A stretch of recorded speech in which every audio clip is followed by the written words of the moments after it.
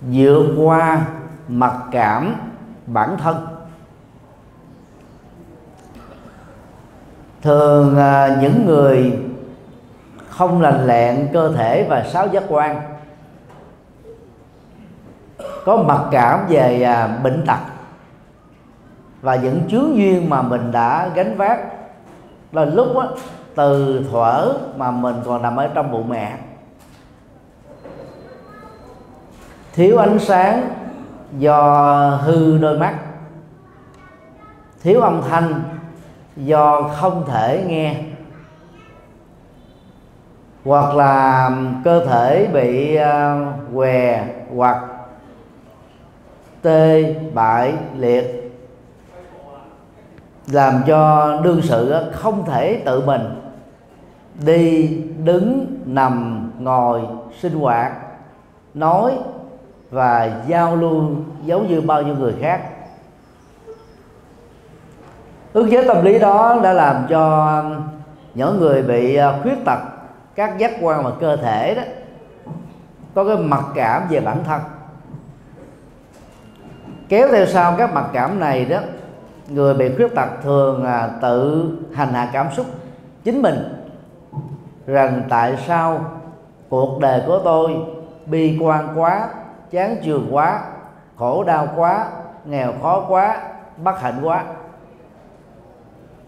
Thực tế khi mình mình à, bị à, khuyết tật, một chi phần nào đó, một giác quan nào đó, ta đã kém may mắn hơn những người lành lẹn còn lại. Việc này ai cũng biết rồi. Nhưng mà tâm lý tự hành hạ bản thân về phương diện cảm xúc do mặc cảm tự ti đó, đã làm cho nỗi khổ niềm đau đó đó có cơ hội gia tăng. Theo khuynh hướng cường điệu hóa.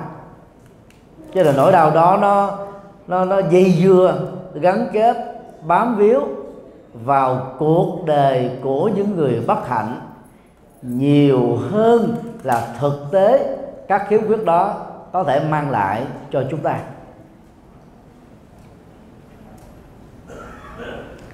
Mặc cảm bản thân ờ, còn bao gồm mà mặc cảm về ờ, thân phận của mình, mặc cảm về gia đình, không giàu có, không đầy đủ các tiện ích vật chất, mặc cảm về chiều cao quá khiêm tốn, mặc cảm về làn da không được trắng trẻo, mặc cảm về mụn, rồi các nốt ruồi và những ờ, hình ảnh khác nó làm cho chúng ta đó không được đẹp và hấp dẫn như những người khác. Hoặc là mặc cảm về tiền lương, mặc cảm thất nghiệp, mặc cảm vị thế xã hội và nhiều mặc cảm khác, đã làm cho mình á tự trở nên tự ti. Tức mình có cảm giác là tôi thấp kém, tôi nhỏ bé, tôi ờ, khổ đau, tôi là người bất hạnh.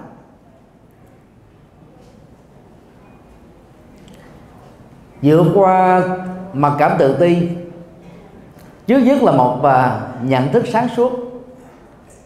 Kế đến là những nỗ lực xứng đáng để giúp cho các vị đó có thể vẫy tay chào với các nỗi khổ niềm đau mà mình đang gặp phải. Nỗ lực đơn giản nhất cần phải làm là gì? Tôi nhận thức rõ nỗi khổ, niềm đau, các bất hạnh là những hiện thực mà tôi đang vướng phải. Quý vị chỉ đơn thuần ghi nhận nỗi khổ, niềm đau đó thôi. Không chạy theo nó, không cường điệu quá nó, không cảm xúc về nó, không mặc cảm bởi nó. Chỉ đơn thuần ghi nhận. Sau đó quý vị à, hãy tiếp tục nhận ở trong đầu tất cả những việc đó chỉ là chuyện nhỏ thôi. Và quý vị có thể nhẩm như thế này, tôi bị khiếm tật thì có sao? Chẳng lẽ người khiếm tật không để được hạnh phúc, bình an và trải nghiệm được những giá trị cao quý trong đời? Bởi vì có rất nhiều người bị khuyết tật, vẫn trải nghiệm được hạnh phúc do làm chủ được cảm xúc, tâm tư, nhận thức, lối sống và hành vi ứng xử trong đời. Do đó, tất cả các cái tâm niệm, mặc cảm, tự ti đều trở nên vô ích và chỉ làm cho nỗi đau mà quý vị đang chịu đựng đó có cơ hội trở nên dai dẳng và dây dưa nhiều hơn thôi. Bây giờ quý vị hãy làm theo thầy cái câu sau đây nha, để mình nhẩm thường xuyên. Nỗi khổ, niềm đau là chuyện nhỏ. Dầu bị khuyết tật, tôi vẫn sống hạnh phúc. Hạnh phúc là do tôi làm chủ được cảm xúc và cuộc sống này.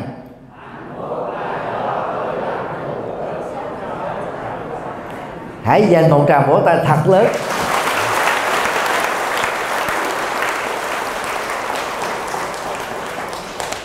Nhớ là khi vỗ tay, tán đồng một việc gì đó, bà con cô bác hãy nở nụ cười thật là tươi đó, đúng vậy đó.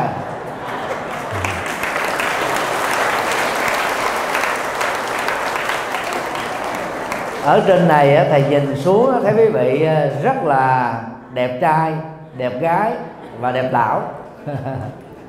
Khi ờ, những nụ cười ờ, giòn giả hay là cười mỉm chi xuất hiện đó, gương mặt quý vị trở nên là sáng rực lên.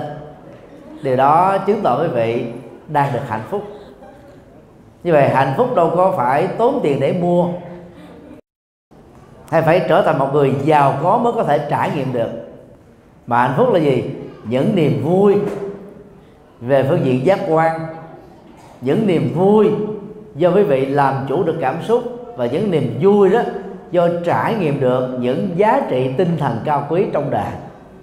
Như vậy việc trải nghiệm được hạnh phúc có khó lắm không? Quý vị hãy trả lời lần nữa. Để trải nghiệm hạnh phúc có khó lắm không? Nếu không quý vị hãy trải nghiệm hạnh phúc nào?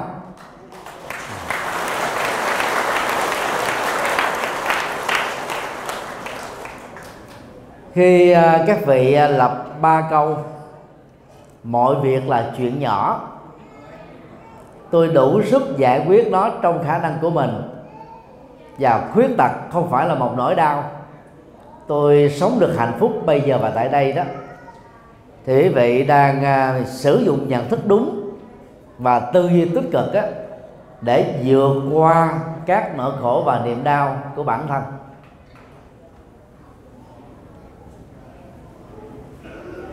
Và bằng à, lối à, nhẩm tức là từ cái ám thị một cái luồng nhận thức đúng đưa vào trong tâm á thì quý vị sẽ trở nên hăng quan hơn lạc quan hơn tích cực hơn yêu đời hơn.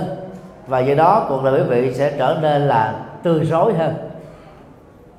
Mặc dầu á cũng con người đó cũng với những cái bệnh tật mà mình á đã dướng phải từ lúc mới lọt lòng hoặc là trong à, thông qua quá trình sống á, chúng ta bị dướng kẹt vào một cái bệnh nào đó. Do đó ờ, quý vị hãy tự ờ, nói dẫn chơi, vui đùa để tạo ra những cái trạng thái tâm lý tích cực. Ví dụ hai người ờ, kiếm thị đang ngồi nói chuyện với nhau, một người có thể nói đùa, anh thấy tôi có đẹp trai không? Người kia trả lời, nếu tôi không thấy anh đẹp trai là tôi chết liền. Thì những ờ, câu nói đùa đó đó nó chẳng ờ, tốt đồng xu nào. Mà nó làm cho hai người đó cảm thấy rất là vui vẻ và hạnh phúc. Do đó trong mọi hoàn cảnh và tình huống các bà con á, hãy nỗ lực á, nhìn vào cái cái ờ, góc độ tích cực để làm cho cuộc đời của mình đó, nó không trở nên là mù ám buồn bã, chán trường tuyệt vọng, khổ đau và bế tắc. Tất cả chỉ cần nỗ lực đúng là có thể đạt được các hạnh phúc nhỏ nhỏ đó ở trong à, tầm tay của mình. Quý vị có thể à, tự an ủi rằng đó, tôi bị khuyết tật, tôi bị bệnh nhưng không nhất thiết vì thế mà tôi không được hạnh phúc. Nhà cửa, tiền bạc, gia tài, sự nghiệp, vị thế xã hội không phải là hạnh phúc. Chúng chỉ là những tiện ích để phục vụ cho cuộc sống của con người thôi. Sử dụng chúng đúng cách. Hạnh phúc sẽ có mặt sử dụng sai cách đó người sở hữu nhiều tài sản sẽ trở thành con lặt đặt bị những tài sản đó giật dây và trói buộc thôi.